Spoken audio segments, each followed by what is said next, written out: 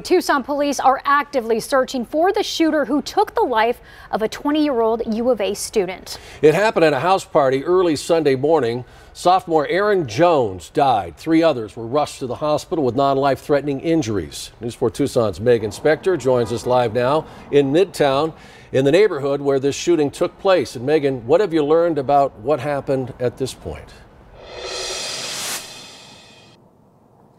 Well, we're here on East 5th Street near Country Club Road. This is where the shooting happened on Sunday morning. This investigation is still very active as police are trying to figure out what exactly led up to this shooting. And community members are asking the same questions. Just a couple of minutes ago, we had a neighbor drive by asking me if I had any new information. Now, we're hearing from multiple sources that the house this party was at is owned by multiple football players at the U of A, and we can confirm that a football player was one of the victims injured. We do know the shooting took the life of 20 year old Erin Jones. This shooting here was one of two separate incidents near campus that happened over the weekend, the other an armed robbery. This comes after a year of attempted kidnapping, sexual assaults, and other situations. We spoke with students on campus about how they're feeling about safety. Trying to keep calm, you know, trying to trust in that we have safety here, try to trust in that as much as I can.